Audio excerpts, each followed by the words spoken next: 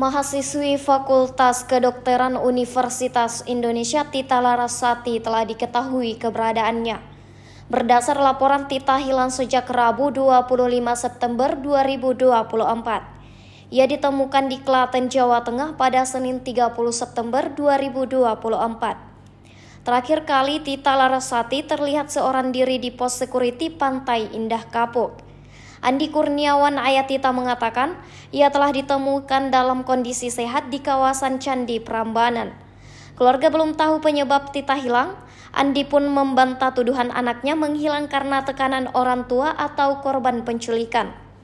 Sejak kejadian itu, media terus menghubungi pihak keluarga dan menawarkan bantuan.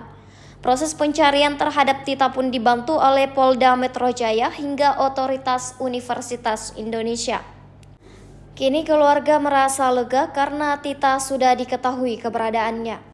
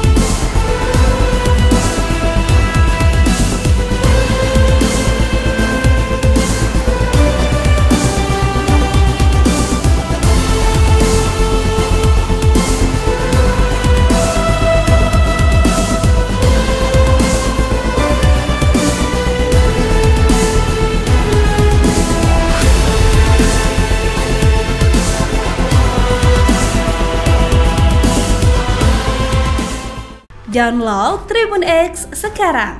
Menghadirkan lokal menjadi Indonesia.